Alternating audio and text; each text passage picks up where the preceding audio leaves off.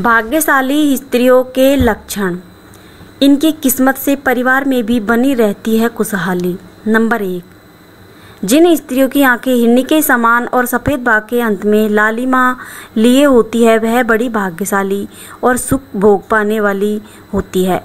Number दो, जिनकी जीव लाल और कोमल हो, वह खुद तो सुख भोगती ही है, उसके परिवार वाले भी सुख भोगने वाले होते हैं। नंबर तीन, जिस स्त्री की नाभि गहरी और अंदर से उठी हुई नहीं होती है, वह हर सुख भोग को पाने वाली होती है। नंबर चार, नाक के अग्रभाग यानी आगे तिल का निशान धन संपत्ति जीवन की निशानी मानी जाती है। नंबर पाँच, पैरों में कमल चक्र और संघ का निशान बहुत ही शुभ फलदाय, फलदायी माना जाता है।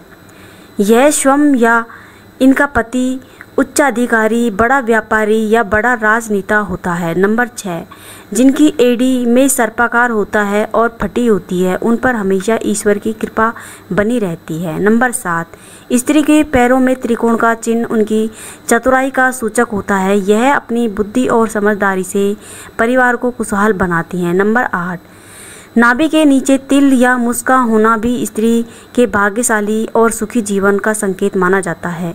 नंबर नौ, समुद्र शास्त्र के अनुसार जिस स्त्री के पैर का अंगूठा धरती को स्पर्श करता है, वह स्त्री बहुत ही भाग्यशाली होती है।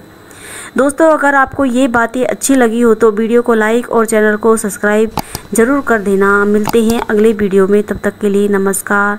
जय हिंद, जय भारत।